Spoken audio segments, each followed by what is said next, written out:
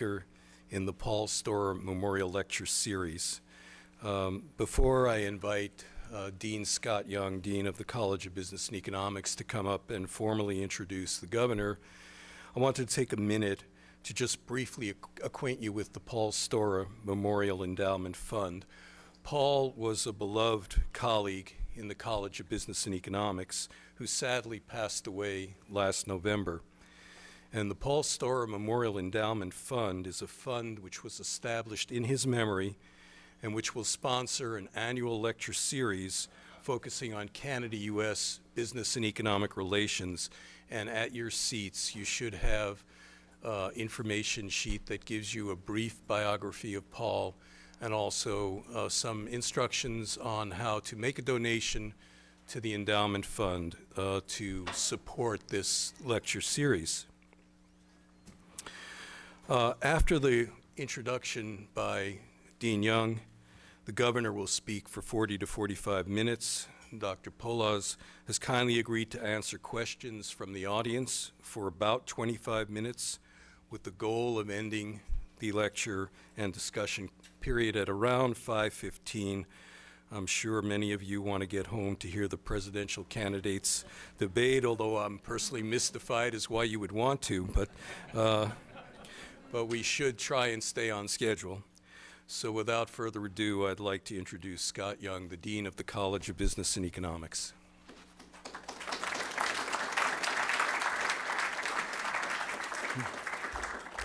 Thank you, Steve, and welcome everyone. I'm honored to introduce our speaker today. Uh, Stephen Poloz was appointed governor of the Bank of Canada effective 3rd of June 2013 for a term of seven years. As governor, he is also chairman of the board of directors of the bank and a member of the board of directors of the Bank for International Settlements, BIS. He currently chairs both the BIS Audit Committee and the Consultative Council for the Americas. Born in Oshawa, Ontario, Dr. Poloz graduated from Queen's University in 1978 with a bachelor's degree in economics. He received a master's degree in economics in 1979 and a PhD in economics in 1982, both from the University of Western Ontario. Dr. Poloz first joined the Bank of Canada in 1981 and occupied a range of increasingly senior positions over a 14-year span, culminating in his appointment as chief of the bank's research department in 1992. After his departure from the bank in 1995, he spent four years with BCA Research, where he served as managing editor of its flagship publication, the International Bank Credit Analyst. Dr. Poloz uh, joined Expert, Export Development Canada, EDC, in 1999 as Vice President and Chief Economist. From 2008 to 2010, he was Senior Vice President Financing with responsibility for all of EDC's lending programs. In January 2011, he was appointed President and Chief Executive Officer of EDC, a position in which he served until his appointment as Governor of the Bank of Canada. I welcome Dr. Poloz. Thanks.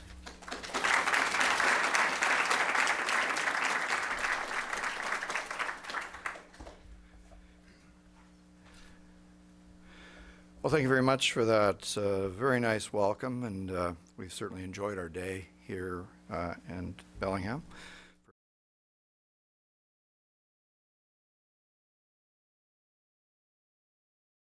Paul and I met back in 1984 when he was fresh out of the master's program at the University of Toronto. And I was fortunate that at the time he chose to accept an appointment in my group at the Bank of Canada. I know later I helped influence his decision to go back to school. Uh, it's about three years after, uh, after he joined the bank for his PhD. And actually in helping him to choose Western, and by Western I'm afraid I don't mean Western, but rather Western. this is a West, University of Western Ontario tie. Uh, which is now called Western University, believe it or not. Quite ironically, I think, uh, that he would end up uh, teaching here at Western uh, Washington University, uh, having been educated at Western University.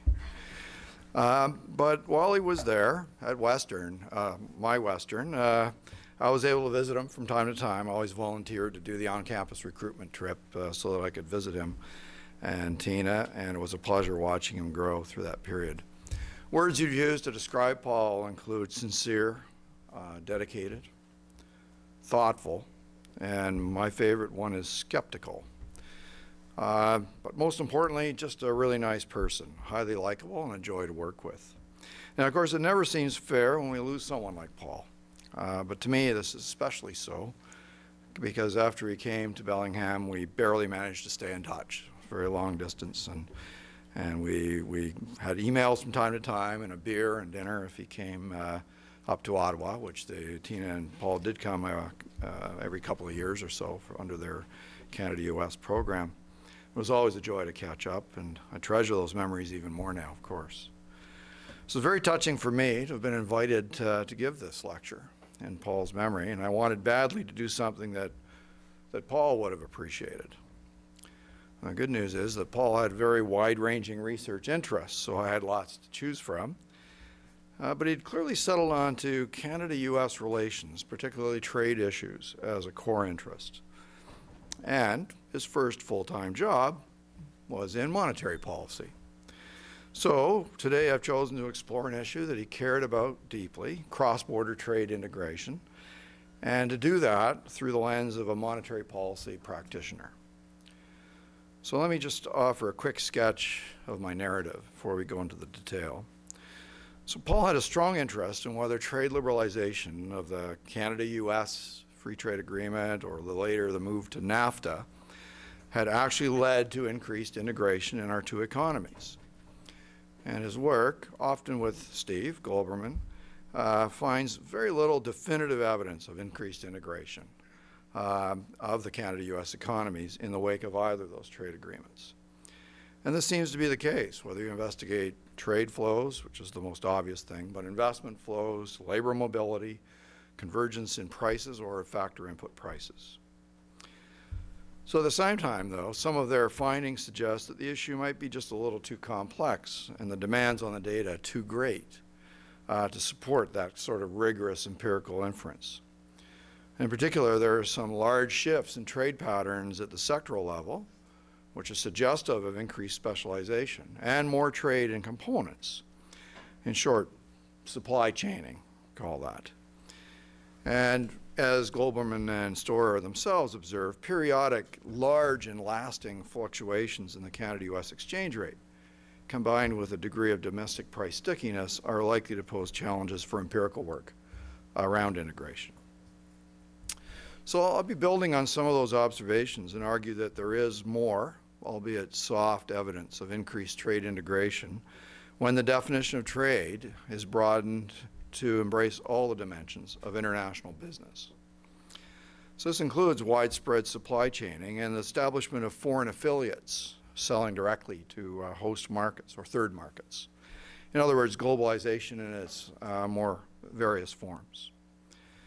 And in fact, I think it's important not to restrict attention to the three NAFTA partner countries because additional countries, in particular China, may be important facilitators of integration within North America, like a triangle of trade.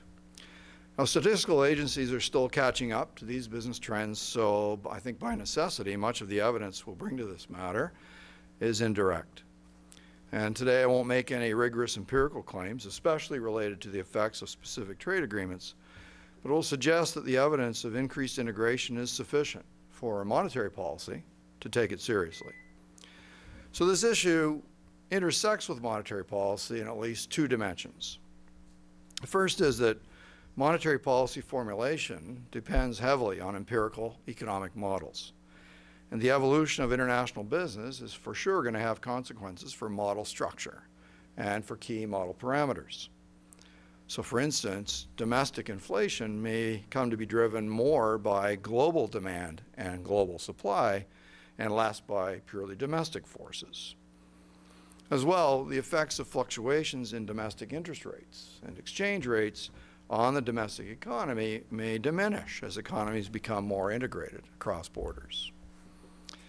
And the second dimension relates to the strategy around monetary policy. That means what targets do you choose and how do you pursue them?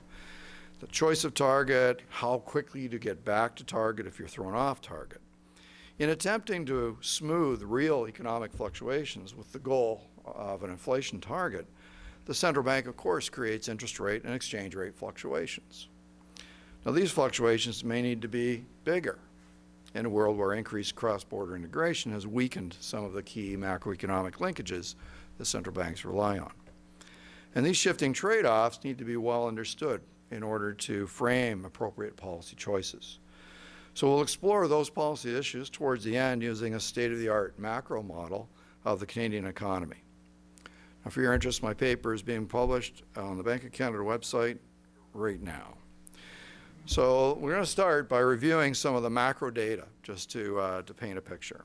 And I start with a concept that I call trade penetration. Some people call it trade intensity. It's a useful proxy for the importance of international trade for the domestic economy since it goes beyond the traditional concept of exports. So we use a country's nominal exports plus its imports as a share of nominal GDP to measure the importance or the penetration of trade into domestic value creation. So in a globalized world, production processes are often geographically fragmented. And the competitiveness of a country's exports depends increasingly on inputs that come from somewhere else. So that facilitates the division of labor between lower wage and higher wage workers across the components that go into a, a given product. Now, importantly, this fragmentation of our products boosts international trade, cross-border movement of, of stuff, parts, for a given level of GDP. So it looks like there's more trade per dollar of, of GDP. In fact, we trade the parts, and then after we're done trading the parts and they're put together, we trade the final products. So those parts have moved again. So, see how this will look at that. Everything's in order. So this is a chart showing the evolution of these trade penetration measures for Canada, the U.S., and Mexico. And, and a dotted line, well, the solid line, black line is for the whole world, and uh, the dotted line is just for advanced economies, not really different. So at the global level, you can see that trade penetration rose steadily from the early 1990s through to the collapse in trade that occurred after the global financial crisis in 07, 08. Um, there was a recovery in trade penetration after the global recession, but since 2010, total trade has been pretty flat, uh, even declining a little uh, relative to global GDP. Now, this weakness in global trade growth in the last few years has attracted quite a bit of attention. At first, globalization has happened in waves, and you can't expect these waves to be repeated. Technological improvements have also played a role, falling tariffs and other costs such as transportation and logistical support costs. So these things don't necessarily happen over and over. They happen once. Uh, global value chains, or I'll, call, I'll, say GVC a few times today, GVCs, uh, those the development GVCs received a major boost in all countries when China joined the WTO. Well, that can only happen once. Secondly, subdued business investment. Okay, that's, that's something we observe today. That's because uh, we believe, anyway, most of the, the post-crisis anxiety or uncertainty is slowing investment spending globally. And investment spending is a very trade-intensive activity. Those capital goods are moving all over the place, and they have parts that are produced in multiple countries. So soft investment in the world is having a disproportionate effect on the level of trade relative to global GDP. A third factor that plays here is that emerging markets, emerging markets generally have lower import elasticities than major economies. So as emerging markets get bigger as a share of the total, which obviously is occurring, what that means is that, the, that, as that relative contribution goes up, the global income elasticity of trade has been declining. So for those reasons, it's maybe reasonable to expect global trade to pick up as the world economy continues to heal, but it seems unlikely that we'll have that same sort of rising trade penetration that we had during these waves in the past. And therefore, the ratio of trade to global GDP may not go up nearly as fast as we saw uh, during those, uh, those 20 years there. Now, this global pattern, as you can see, is perfectly mimicked by the U.S. economy. Canada and Mexico, though, within NAFTA have had different experiences. So Mexico, which is uh, the green line, has seen a steady rise in trade penetration for over 30 years, and a huge acceleration that took place after NAFTA in 1994. So that's, uh, that's a pretty impressive uh, performance. Now, there's a little minor decline there in the wake of the financial crisis, but the uptrend resumed almost right away. Canada, quite a different chart. No rise in trade penetration after the Canada-U.S. Free Trade Agreement. Indeed, trade penetration was in a bit of a downtrend at the time. But then we saw a rapid rise during the 1990s. Now, NAFTA, 1994, may have made a contribution to that. We won't make a specific claim there. But the fact that much of the 1990s increase in trade penetration was later unwound during the, the 2000s suggests that there are other factors at work. One factor that we've identified was the global telecom boom and then the bust. Uh, certain Canadian companies were heavily involved in that, uh, in that boom and the bust, and so that was a very trade-intensive business. Another, uh, which is maybe even more obvious, was the steady appreciation of the Canadian dollar from 2002 to up till the financial crisis. So it went from, uh, you know, sort of 67 cents to, you know, eventually it ended up being above parity. So it's like on the order of a 50% rise in, in the exchange rate uh, of the Canadian dollar. And a persistent strength in the aftermath of the global financial crisis. Uh, and the resilience of that uh, exchange rate was primarily due to high oil prices. And that led to considerable restructuring in many export sectors, including automobiles, forestry products, and the outright, outright exit of large numbers of exporting companies, something like 10,000 companies in Canada disappeared during that phase of, of Canadian dollar strength. So obviously there are other things at work for the Canadian line. The U.S. business cycle was a contributor um, and other things, but importantly to us at least that in the last two to three years, a modest uptrend in trade penetration has uh, begun to uh, reemerge. So by this simple measure, it's a very simple measure of importance of trade, uh, we'd have to conclude that the three NAFTA countries have become more integrated with the global economy during the past 30 years, and that's especially the case uh, for Mexico. Now, the implications of those trends for goods exporting in the three NAFTA economies are illustrated here. Uh, so what you can see then is exports as a share of GDP have almost doubled in the United States in the past 30 years. I know it's kind of a, a shallow line, but it has doubled, and those are big numbers, so it matters quite a lot. But showing that weakness we talked about earlier, the softness in trade towards the end. Mexico, spectacular. Uh, uptrend there, persistent. Uh, export to GDP ratio now approaching 35 percent a very big uh, contributor to uh, Mexican improvements. and in contrast, the export sector trauma of the 2000s in Canada shows up very clearly in this chart. We were as high as 37% of GDP up at the peak, and now in the mid-20s, albeit, as I said, a bit of a, an upturn seemingly uh, showing up for us in the last uh, little while. Now, the concept of total trade penetration uh, embodies this idea that countries trade not just in final goods, uh, but in the components that go into them. This is, in effect, is the essence of the benefits of globalization. So a given product gets fragmented into its components. Some of them require highly skilled, highly paid workers, and some of them can be mass produced at low cost in lower wage locations. And trade then connects those fragments together into, into GVCs permits a better matching, therefore, between skills and products, and therefore the overall costs are lower and higher productivity uh, results. So GVCs obviously boost conventional trade statistics for a given unit of GDP, and it makes it harder to interpret uh, these, uh, uh, these data points. So to, to dig, dig into that, we take a look here at global trade in intermediate goods. Intermediate goods, of course, are, are you know the components that I'm talking about. Consumers aren't very interested in intermediate goods; they're only interested in the finished product. So this is business-to-business trade, and fundamentally productivity enhancing. So an uptrend in these data points is a very positive sign for an economy. So this chart shows that uh, intermediate goods uh, trade for all three countries uh, has been has been growing steadily. And while they've all seen it since NAFTA, the large acceleration after 2000 suggests that something bigger was going on, not just NAFTA. So again, this is where I think the bigger influence was China's accession to the WTO.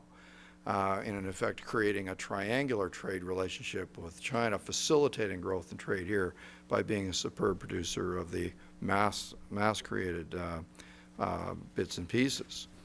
So the level of intermediate goods trade for the U.S., though, dwarfs that for Canada and Mexico by a factor of about four for, Can for Canada and by seven uh, for Mexico.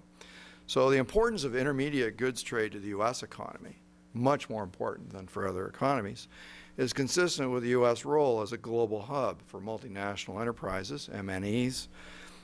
They're the ones that develop those GVCs that span multiple countries, including the NAFTA partners, but other countries. Now, it will be very difficult to disentangle all these data, uh, but they are at least consistent with a rising degree of North American integration over the past uh, 20 years. Now, it's worth observing that supply chain trade often happens within the same firm. This is actually a really important point. The trade facilitated version of vertical integration. In the old days, companies built themselves and it would include their parts suppliers in that vertically integrated firm, like General Motors, let's say, you know, in, where I grew up in Oshawa. So you'd have all the parts producers right there in Oshawa, and they'd produce all the bits, they'd go into the plant, and the plant would build a car. Uh, so the MNE creates or purchases the entities, though. Today, those entities are scattered in the way I described. The fragmentation is geographic. Uh, you don't have to be nearly as close by. The MNE, though, still creates that vertically integrated uh, structure by either creating or purchasing those entities that are supplying it. That increases reliability, quality control, efficiency, and of course in, internalizes the value added and the profitability associated with that that lies in the supply chain. So these are very clear in the manufacturing sector of the NAFTA countries. So some data points here. For the U.S., some 40% of manufactured exports to Canada are intra-firm. So it's a U.S. company exporting to itself from the U.S. to Canada. And about 50% of U.S. imports from Canada are within the same firm. That's a pretty big number. So what about U.S. Mexico? Well, pretty similar. 40% of U.S. manufactured exports to Mexico are within the same firm. And 70% of U.S. imports from Mexico are intra-firm eh, trade. So they're within the same firm. These data point to a very high level of cross-border integration, even if it's within the same firm. Well, that's what optimization is all about. It's very clear in certain manufacturing sectors like automobiles, aerospace, and telecom equipment, but there are lots of other examples. So, as noted earlier, trade through a value chain creates a certain amount of double counting. We should probably call it multi-counting of trade flows because the same items cross borders more than once. Um, another an example that I'm familiar with was uh, BlackBerry. BlackBerry pieces were being uh, created in seven different countries, and each supplier they had more than each supplier was replicated somewhere else in case the supply chain got disrupted. So they had two global value chains uh, for uh, for assurance uh, that they, they would never run out or there would be a disruption. So those pieces were floating back and forth across borders and then final assembly, and then of course those units were sold all over the place. So a mobile phone designed and engineered in one country, assembled in another country, components produced in six or six or eight other countries, sold to the entire world. That's a lot of trade for one thing that costs a couple hundred dollars. Uh, so a lot of trade per dollar of GDP. Um, so what this means is that any change in the structure of global value chains can either inflate or, the reverse, depress what we call normal trade flows. So uh, the OECD has been doing some work to try and uh, nail down some of this. Uh, they've developed indicators of trade in value added. And so uh, the same process that statisticians use uh, to create a GDP statistic for us. It's the value added at each stage. If you bring an input out from, from outside, well, that's not counted as, you didn't create it here. Okay, so that gets deducted, if you like, and then it gets incorporated in the next thing, and the next stage of the process has value added, and then you end up with the final, uh, the final products. And that's why GST or VAT is charged only on the value added, the VAT, uh, is charged only on the part that, that you add here. So, so the OECD has developed these indicators of trade and value added terms and attempts to capture the value added in each country's participation in the value chain.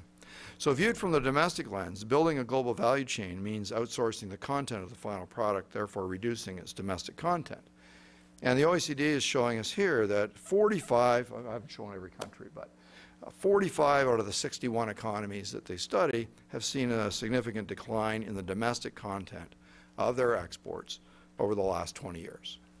And that's what you see going from a blue line, a blue bar, which is, uh, I forgot the dates, uh, I can't see it from here, 95 versus 2011, so close enough to 20 years.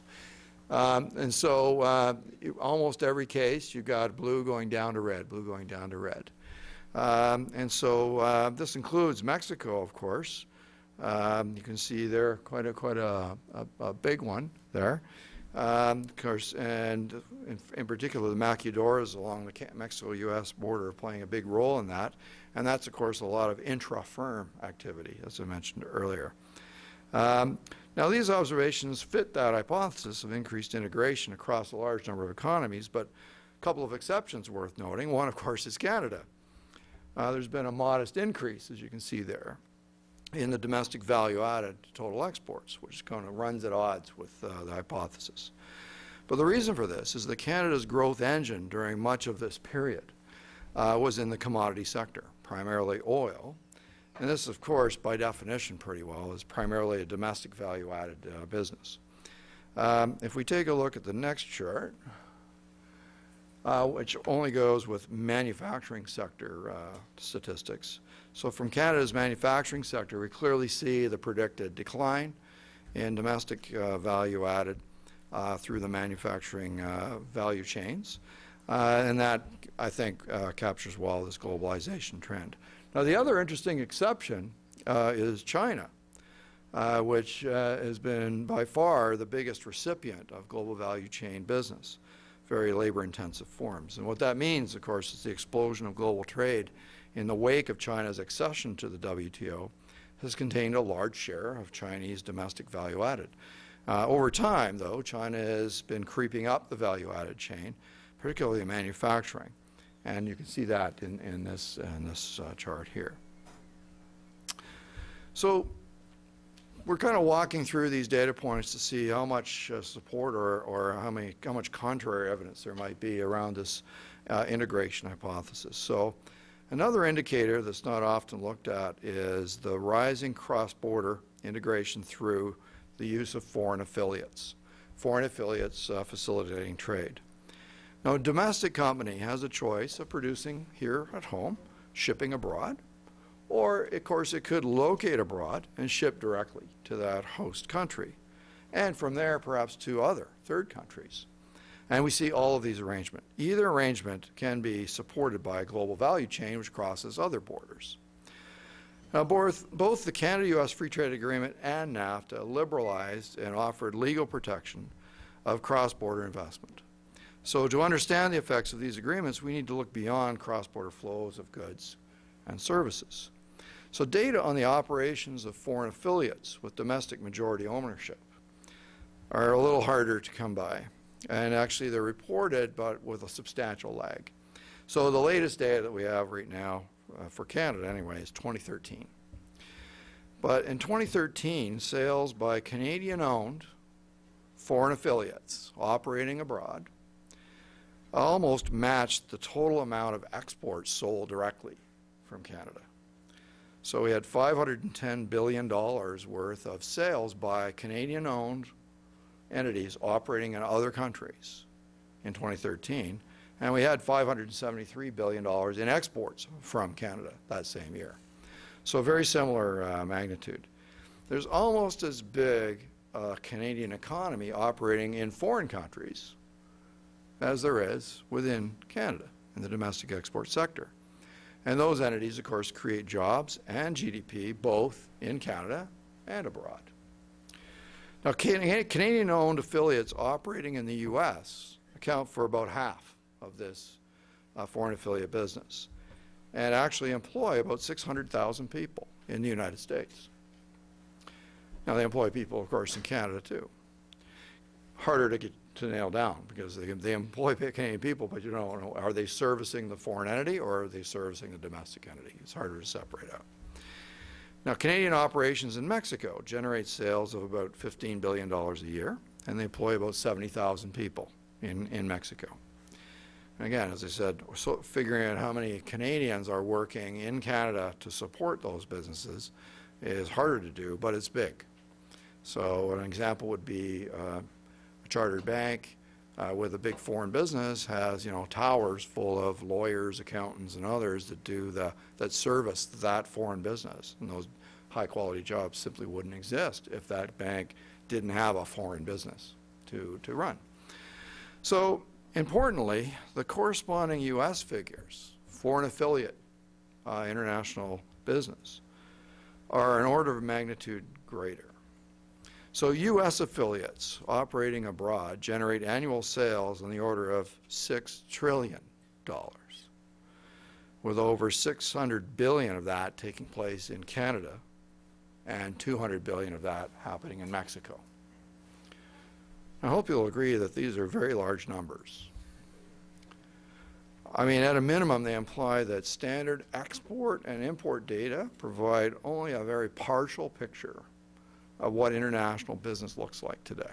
International business is much more complex today, and the simple analysis that I started with of, you know, trade flows really just scratches the surface of that. So that, those observations are not definitively, but to me they collectively support the view that cross-border integration has increased in North America over the past 20 years. Now, as I said at the beginning, deeper structural evidence of increased integration is much harder to come by. And that's, of course, what, as economists, that's what we really want. You know, we want the, the model to throw out the result, and you got the, uh, the specific evidence. Um, this is probably the case, though, because the effects of trade agreements are highly sector-specific. Often they're even firm-specific. And there's always lots of other forces that are acting at the same time to affect macro statistics hard to control for in the empirical tests. For example, some sectors may have been more protected than others before a trade agreement. So you get outsized adjustments that may be masked in the aggregate data. Shifts in industry composition or in factor intensity can easily distort microphenomena when aggregated into macro statistics. And there may be subsequent shocks that hit particular industries and mess up those tests. Well, the literature has built up a number of insights over the years on the effects of specific trade agreements. I won't walk through that literature today. There are a number of key references in my paper, so I'll, I'll refer you to that. Um, but just to say that taking it all together, it's, it's, if, if it's not fully convincing, it is at least highly suggestive. The broad brush review of the data points shown here, along with the literature on the more specific structural evidence, to me at least, passes the minimal test, which is that enough evidence that cross-border trade integration has increased over the last 20 years that we should trade it seriously. Of course, it remains possible to be skeptical of the depth of this hypothesis, especially if you're trying to credit either the free trade agreement, Canada-U.S., or NAFTA specifically with observed results in the trade data. That content uh, is, is, seems a little hard to, uh, to bring to the surface. And for sure, the impact of the two agreements on trade seems to have fallen short of the predictions that we saw before those trade agreements. That much is for sure. Um, and some would even point to evidence in the last few years of what I would call integration reversals, or a popular term for it is reshoring. Uh, so if things are being reshored, then obviously things are unraveling in the sense that we're describing. You know, it's a de- deglobalization of some kind. But to me, it's important to keep those anecdotes in, uh, in perspective. Fact is that globalization was never likely to take us to some idyllic end state of pure integration. There's a lot of realities that intrude on that. Now, these realities would include First, the limited availability of trade finance for companies operating in uh, many smaller countries. Secondly, the cost of building and maintaining global logistics networks is not free. Geopolitical risks are a big one. And I mentioned, you know, the example of BlackBerry having two distinct geographic suppliers for every component for exactly these kinds of disruptive uh, reasons. And natural risk, you know, like, so there's a there's bad weather or there's uh, an earthquake or something like this that disrupts the supply chain.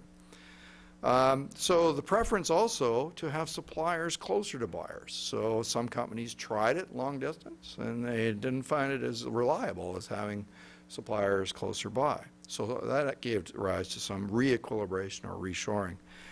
And importantly, and we almost never think of this uh, as economists, I think, is after-sales service and maintenance for for complex equipment.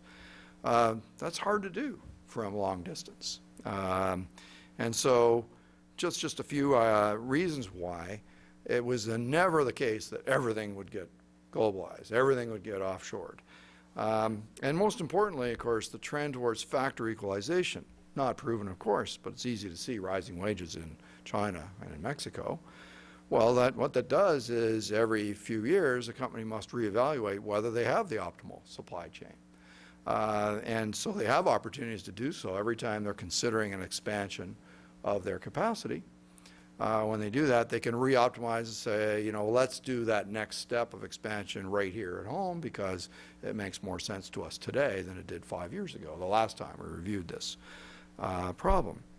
So uh, having that uh, sort of, if you like, dynamic or constant uh, ebb and flow um, is probably the better way to think of the state of globalization. And it means that the degree of integration can vary significantly over time, both directions. And it makes it very risky to treat it as some sort of state of the world that's subject to empirical verification. It happened, there it is, I can prove it, because it, it may, it may uh, unwind. My overall reading is that the evidence of increased international integration is easily sufficiently compelling for a policymaker like me to take it seriously, since it may affect how our models work and how our decision-making uh, is impacted by that. So, our next question is, how does increased integration affect monetary policy transmission? So it's easiest to think about this in the context of a textbook open economy model with inflation driven by a Phillips curve and with the central bank targeting inflation. In this framework, a macroeconomic shock moves projected inflation off target, not actual. So projected inflation goes off target, and the central bank then has some time to adjust interest rates in a manner that brings inflation back to its target and the usual rule of thumb is in the sort of six to eight quarter kind of range. So for ease of exposition, assume a negative shock to foreign demand. Okay, some foreign economy, like in Canada's case, the United States has a slowdown, let's say. And that prompts the central bank, Canada, to cut interest rates to keep inflation on target. So that interest rate response that the central bank works uh, mainly through intertemporal substitution by both consumers and firms. They borrow more because of the lower interest rate. They spend it on goods, housing, investments. Meanwhile, the cut in interest rates is associated with some depreciation of the domestic currency. Sometimes hard, actually very hard to predict, but on average, it tends to depreciate. And that has a separate channel, which boosts exports and dampens imports. And that broadens that policy effect on aggregate demand. That depreciation of the exchange rate would normally boost domestic inflation temporarily, right? So now it's getting much more complicated. That's why we need models. But the increase in domestic aggregate demand through all these other effects, combined with these uh, the, the shock offsets that drop in foreign demand, and after the temporary effects run out of inflation, we get back to target. So this mechanism relies on two key reduced form parameters, the interest elasticity of aggregate demand and the exchange rate elasticity of aggregate demand. So the issue for us to consider is how the evolution of international trade, as we've discussed earlier, may have influenced those parameters, either directly or through more subtle, deeper changes in the underlying structure of the economy. The ultimate effects on inflation will depend on the interaction between that domestic output gap, how much excess capacity do we have, and domestic inflation. So just to illustrate this, let's compare a world in which entire products are produced in individual countries and exported to others with one that's integrated or globalized, it's dominated by MNEs with suppliers scattered all around the world. Well, the investment decision of an MNE will be driven more by global variables. That's pretty obvious, right? It's going to be driven by global variables, not so much by the domestic variables where they're situated. So it would include interest rate fluctuations, for sure. If the MNE has access to global capital markets, its decision-making may be much less influenced by domestic interest rates, uh, much more by global interest rates. Now, that sounds reasonable, but there's very little empirical evidence for or against that as a conjecture. So I've set it aside for today. But the second one is fluctuation in individual exchange rate. Now that may have a more muted effect on an MNE because, of course, in a globalized world, the MNE is built across several uh, geographic frontiers. So when one exchange rate goes up, another one goes down, you kind of have this thing that may influence the chain in some way, but it's kind of a wash. And uh, many companies would say that to me, you know, as a, as a global MNE, we don't really pay much attention to exchange rates except when we make big strategic decisions. But day by day, it's all washed out. Because we are the world, you know, that's the kind of notion that you have in mind there.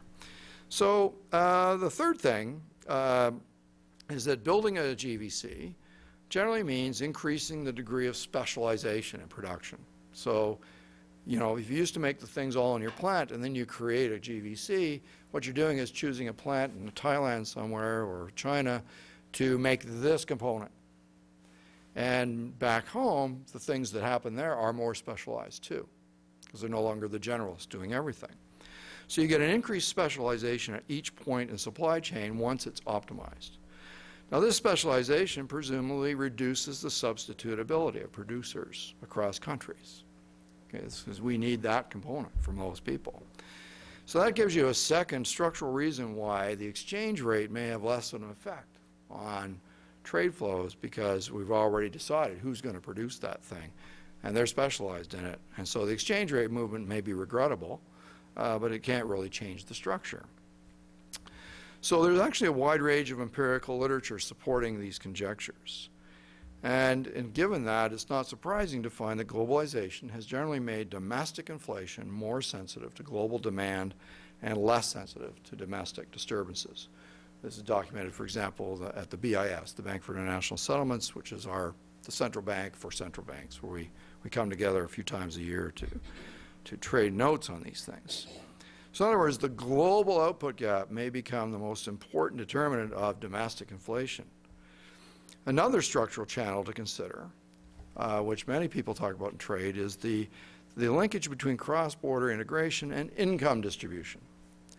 Now, it's generally understood that increased trade penetration and specialization leads to offshoring of labor-intensive, lower productivity fragments. Well, that leads to higher average productivity levels in the domestic economy and higher incomes domestically. But it may also lead to an increase in domestic income dispersion. Okay, a widely observed stylized fact for the past 20 years, especially discussed here in the United States. Now, obviously, it varies a lot from one country to another. The implications of trade liberalization for a given country depend on what other policies may be implemented in a country, whether at the same time or subsequently. And income distribution outcomes that are sometimes attributed to globalization turn out to be driven by other things like technological change. Well, this chart shows one summary income distribution statistic. That's the ratio of income share of the top 10% of the population to the bottom 10% for the three NAFTA countries. And all three of these showed an increase in income dispersion during the 1990s. This trend has continued into the 2000s for the U.S., but it's been partly reversed in Canada and quite largely reversed in Mexico. Now, of course, since other elements of the policy architecture that affect income distribution have not remained constant through this period, we can make no claim that these patterns are driven by trade.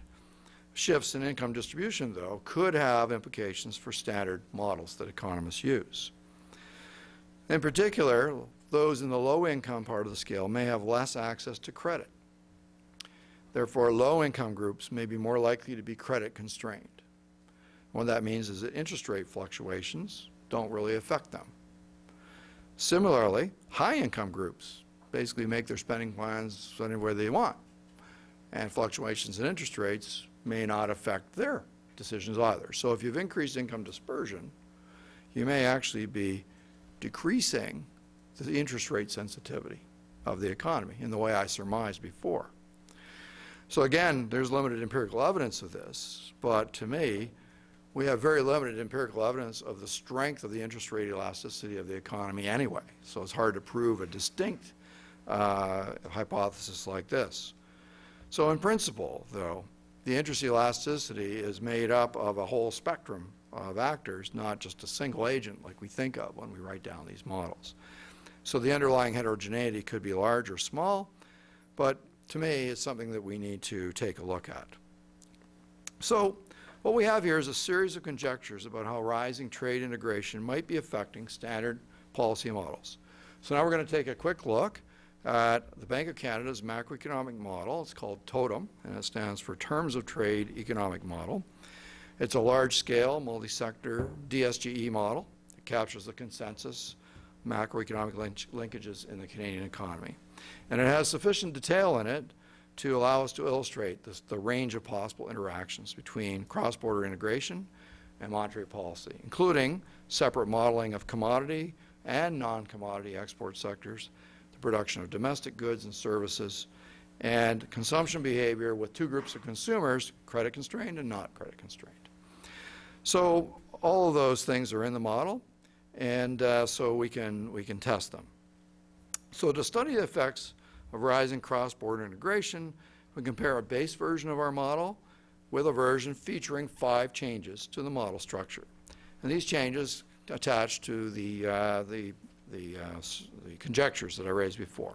So a lower exchange rate elasticity of uh, non-commodity exports, a higher share of imported inputs into the production of exports domestically because of GVCs, Third, a higher share of imported inputs into domestic production for domestic consumer goods, also GVCs.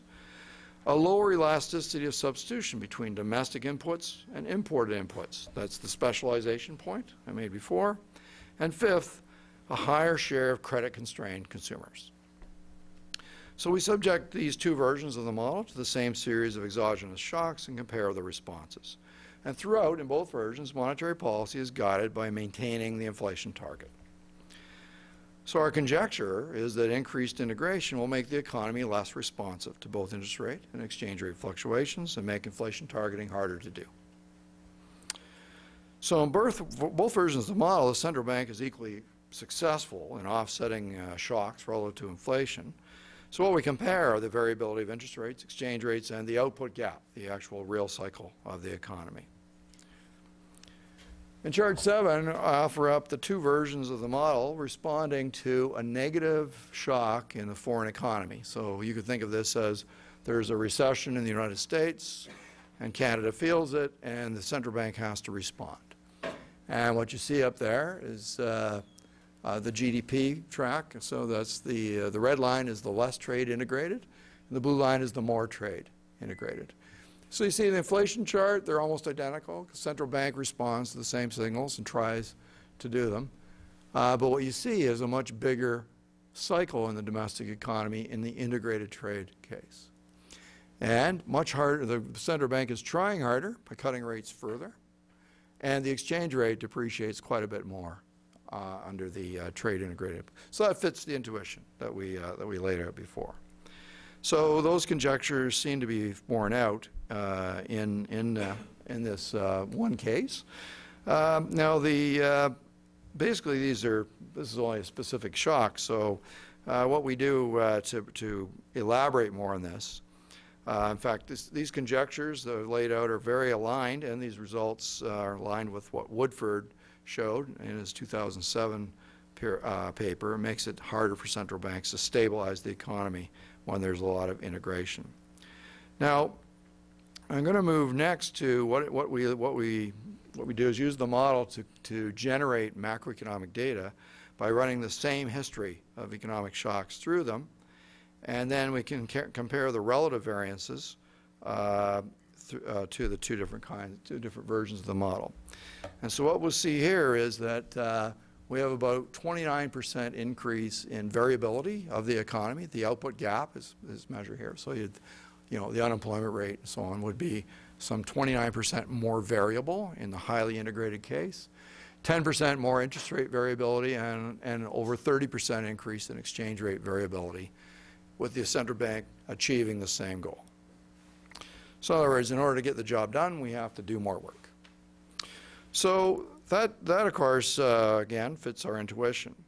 So uh, what we did then was we decomposed those effects across the five changes that I introduced to the model. And there you have the five changes are listed at the bottom. And then, of course, they're across the top. Okay?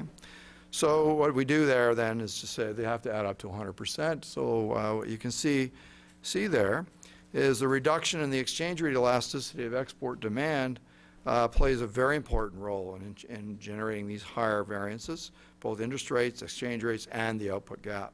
Comparatively speaking, the share of imported inputs in domestic or, or uh, export production has only a modest effect on the variability of the, of the variables that we care about.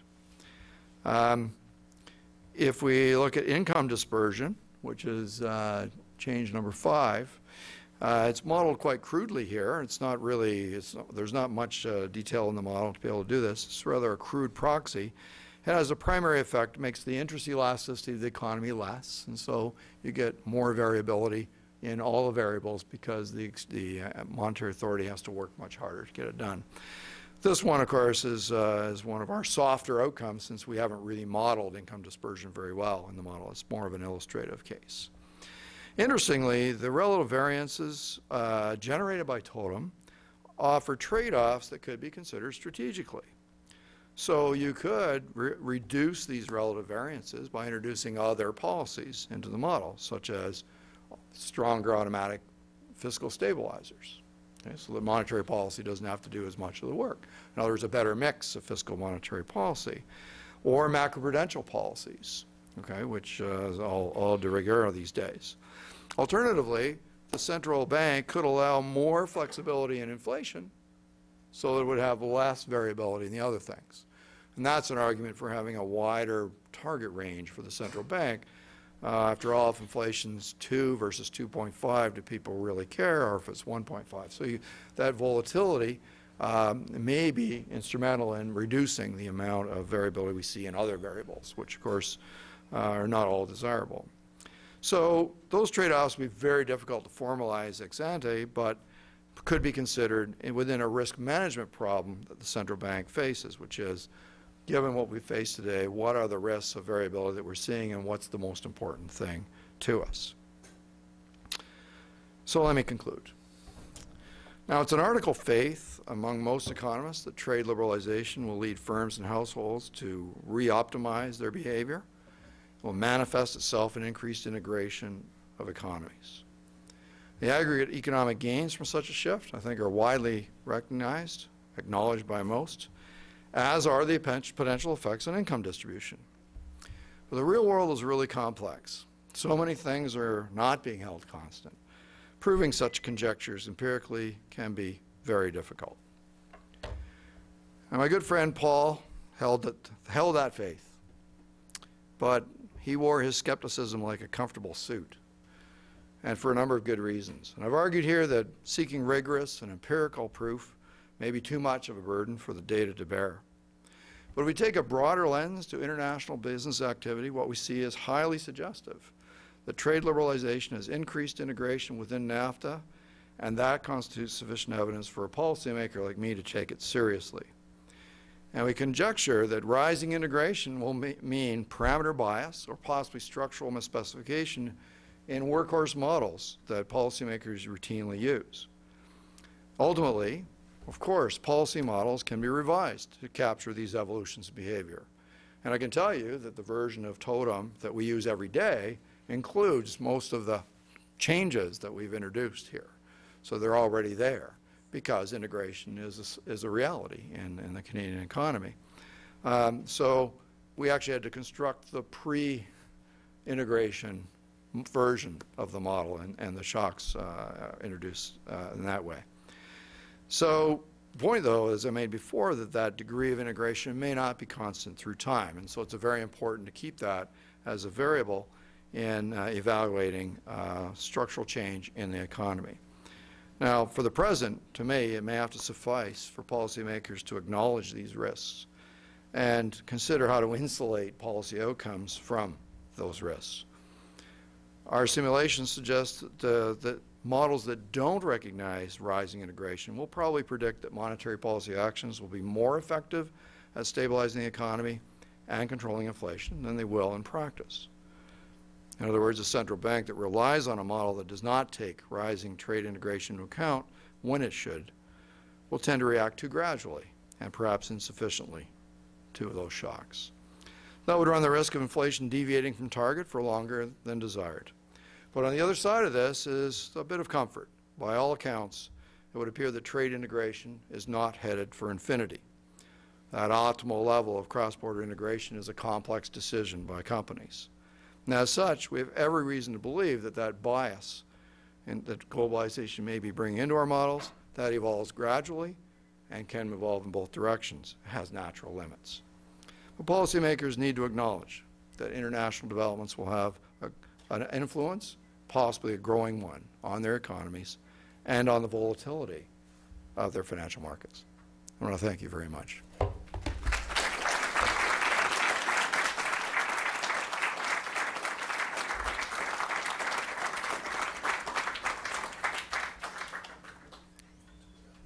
So we have about 20 minutes for questions, and Jeremy has a microphone. He can uh, bring it to you uh, so it can be heard. And uh,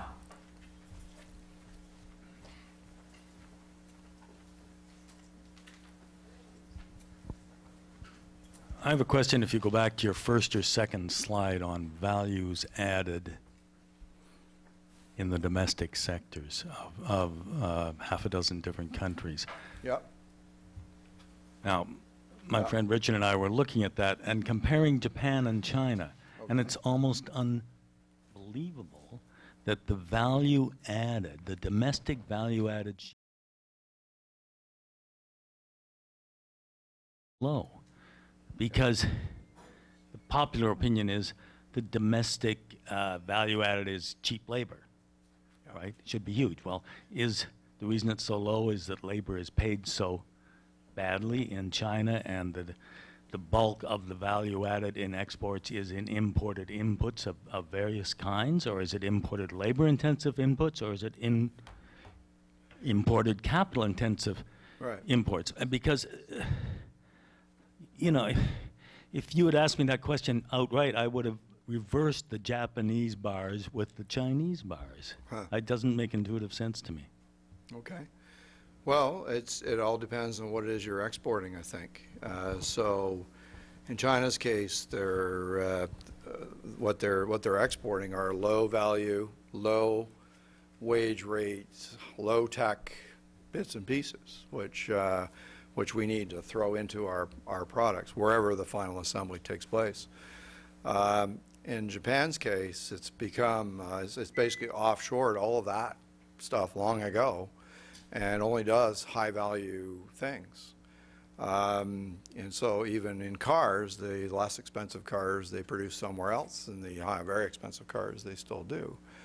Uh, Again, with parts that are, that are largely offshored. So Yeah, I think it's, I think it's all that, and we expect to see China to, as it's climbing this value-added ladder, it's going to go up a lot. And I think part of the slowdown that we're seeing in global trade is that underlying phenomenon, that they're, they're internalizing more. Is the simple answer that the value added is in low-cost labor? Yes. That's why we do Versus, it. versus the value added being in high-cost, capital-intensive, uh, Yes. you know, intelligence-intensive, uh, So if we're making a product that requires, you know, uh, uh, you know, regular workers and, and skilled trades people and Jedi uh, to do, then we, we offshore the lower end of that, and, you know, China makes it, and it turns out to be, you know, one-tenth of the value of the thing that we eventually sell. And the Jedi are still here designing and all that sort of thing. Um, And, uh, yeah, so, you know, Some things in these data points are surprising, like, uh, so, for example, I learned that the value added of, of auto assembly is like five or six percent of the value of the car you buy. So, you know, the, the assembly plant that everybody has to have, you know, for their, for their community and so on is very low value added. Uh, Most of the value is in the parts and the subsystems that come in from the parts makers. And so in Canada, the parts system, the whole parts sector has like more than doubled in size in the last 20 years, while the assembly sector has shrunk dramatically.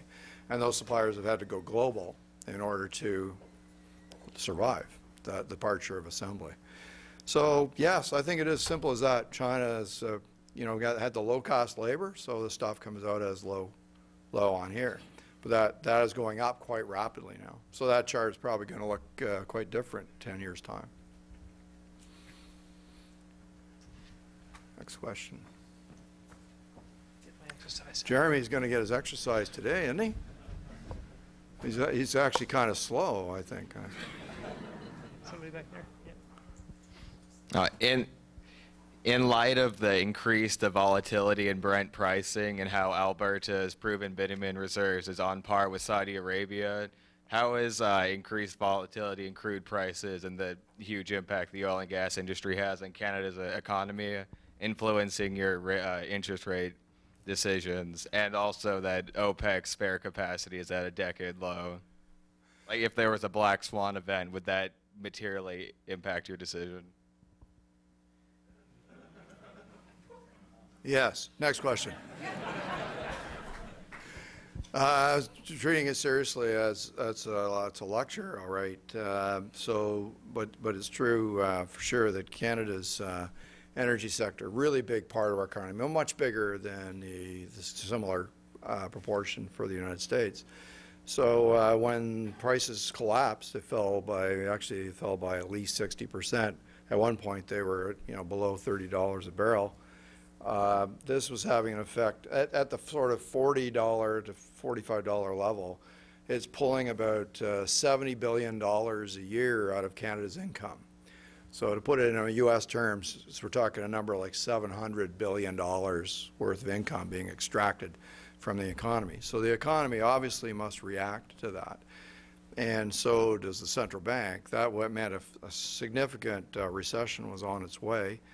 Uh, we cut rates, you know, before we had the evidence of, of the, uh, of that recession, but it was easy to do the arithmetic around it because we had uh, one of the best models in the business to actually uh, simulate what would happen. And sure enough, we did have, uh, you know, a, a a, ret- a retracement in the economy, but we cushioned the blow with two interest rate cuts.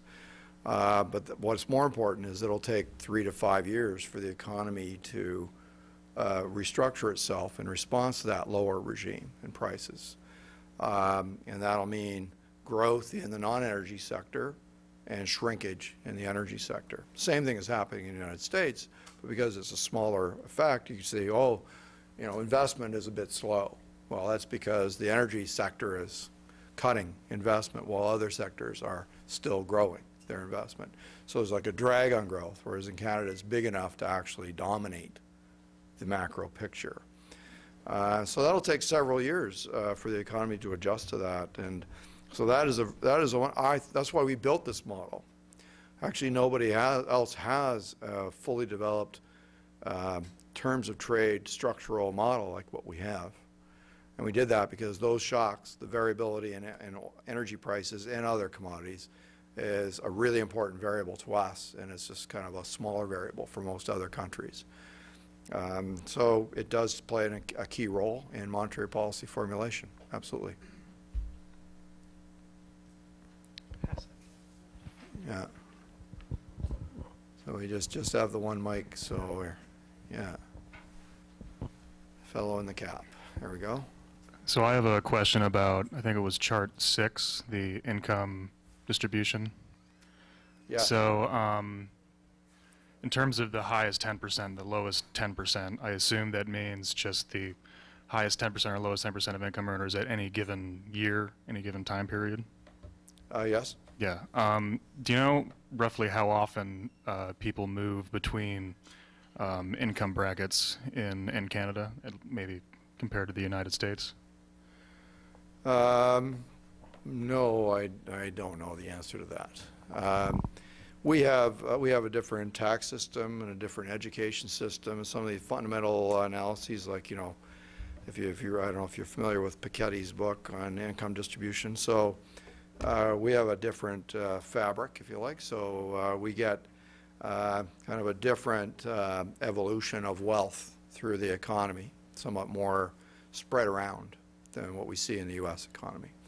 Uh, But, but I don't know how, how quickly we move in and out of those things. I, I, I know the answer to that. It's, uh, w- in the US, it, uh, there's a seven point five percent chance of moving from the bottom ten percent to the top ten percent of the income, twenty percent, I'm sorry, bottom twenty to top twenty. Right, within- seven percent wi- chance of moving from bottom to top. Intergenerationally, for the Right. son to move from the bottom to the top. And in. Canada, In Canada, it's sixteen and a half percent. so it's about double. Yes. That fits my prior. Uh, And, and I think primarily, it, uh, like, the drivers that we've had mentioned was like the much lower cost for education in Canada um, gives you, you know, a more widespread opportunity to make those kinds of moves. But I, there's probably a much more complex story than that, of course. Are you a Blue Jays fan? I- Isn't everybody? Oh, okay. The Jays are going to take it all again. Governor, uh, given your uh, uh, statements on integration and trade and so forth, what does a central bank have to do to manage the highs and lows of a business cycle now? Does it, uh, does it say that there's less ability to influence that, or, or, or does the status quo hold? Uh, no, I mean, what this, what this says is that it, it maybe explains a little bit about how, um, when, when we have these global events, how long it takes us to get back to normal, right? So policy tools, there's many reasons why policy tools today are having smaller effects than they seem to have had in the past, and, and this may be just one small share of that. So I don't want to, don't want you to get carried away with how much this uh, impacts that. Um, But what it tells you is that uh, there are, there are, in that, that range of possible outcomes, there are trade-offs there which we maybe didn't understand very well before. So that increased integration means that we'll have to work a little harder to get where we want to go. But it doesn't change the fact that you're still going to do the work to get where we want to go. Uh, It just means you're looking at different things to calibrate what your responses need to be and conditioning those on, uh, on a different model set. So uh, it fundamentally doesn't, uh, doesn't remove our job or make uh, central banking less relevant or anything like that.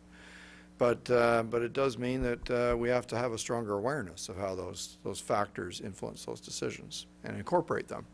I characterize only briefly, there's, I've, I've got a paper uh, that's about risk management in monetary policy making. So that's, I- the- my preferred way to think of this is not as an engineering or mechanical exercise like we do in the, in the models. In the models, we say, okay, let's tell the model to keep inflation on target with this much tolerance. And then the rest is just arithmetic that comes out of that complicated model. Well, in the real world, it's more like there's a zone of ignorance that we- we're not sure exactly where we are, and we're not really sure where we're going, but we have projections of that. And so there's a zone of uncertainty that we're not, we're, we're operating within, and we're doing it in a forward-looking fashion, because the things we do today won't affect things for six quarters, and so we have to know where we will be in six to eight quarters to be able to offset that and get us somewhere else, see? So a very complicated problem. It's not subject to that engineering kind of thing we do in models. So in the real world, what we do is we say, well, it looks like we're here, and it looks like we're going there, and is that okay?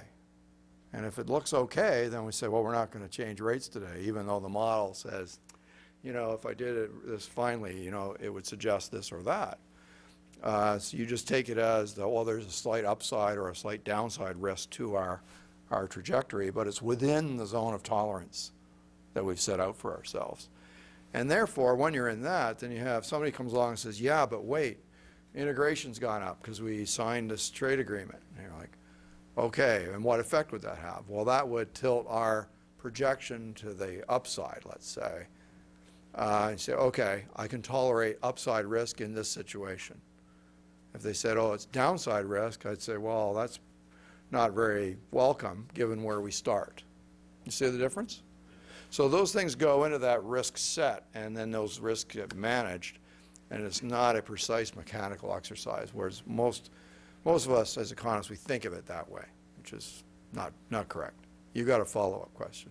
I've confused you. Well, if, if we're, if there's a higher level of uncertainty, does monetary policy then become more careful? Uh, You know, Yeah. central banks, they've That's been just a good way very to put it. cautious. It becomes more cautious. Uh, because if you're not sure where you are, then you, you, say like, if you don't know where you are or where you're going, it's best to kind of wait and see if it clarifies, right? Because obviously you're, you could end up just chasing your tail if, if, you know, and you have what we call instrument instability in models, which is you're, you're, you're reacting to something that's never going to happen. Uh, it's just noise. So once you acknowledge there is noise, then that does cause you to be more cautious in your uh, decision-making. And um, yes, that inter- introduces an additional risk, was is that you could be late. But given the un- the unknowns, that's appropriate, because as long as you're within your tolerance zone, then you've done the best thing you can do for policy and offset the, the risks as they are. It also introduces asymmetry, which is, if you're starting like where we are today with a long period of slow growth and we're watching for the upside surprise to finally show up. If something comes along that's negative, okay, so there's downside risk, that's much more important to us, given where we start, than if there was a symmetric upside risk. The risks usually aren't, you know, in models they're symmetric, but in the real world you go, okay, show me all the upside risk, man, because I'm ready for some of that uh, because we've been a long time with revising down and being disappointed and all that.